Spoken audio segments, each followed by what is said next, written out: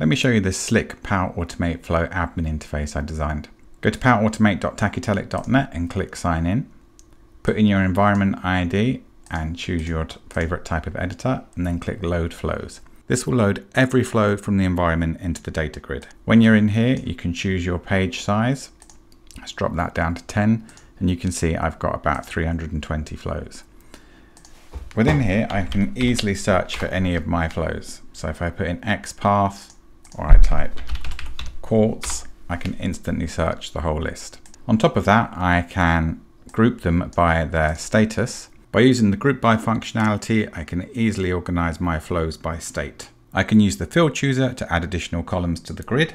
I can easily see the run history just by clicking on one. And then if I want to see this failed entry, I can go there and that will take me straight into the run history. If I want to create a new flow, I can just click on create new flow and that will take me directly into the editor. I can also deactivate flows from here or turn them on. So if I click turn off, that will then disable that flow. And finally, I can delete flows directly from here. I can easily sort on any column like this. And if I want to filter my flows so that I can find all the flows I've created in October 2024, I can just filter the date like this. That's it. Let me know how you get on and if you enjoy using this interface.